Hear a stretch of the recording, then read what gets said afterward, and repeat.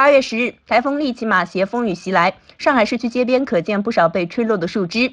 与此同时，总高度六百三十二米的中国第一高楼上海中心大厦正楼保气阻尼器明显开始运作。据了解，上海中心大厦抗风有两大妙招：大厦外形采用柔和轮廓外观和扭转一百二十度的设计，比同样体量矩形建筑的风阻减少百分之二十四。此外，大厦一百二十五层安装了百式电涡流调节质量阻尼器，能有效进行减震控制。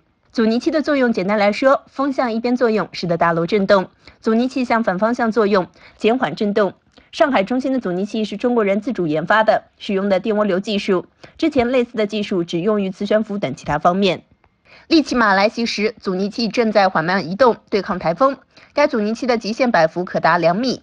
上海中心大厦的工作人员透露，迄今为止，该阻尼器摆动幅度还没有达到过极限状态。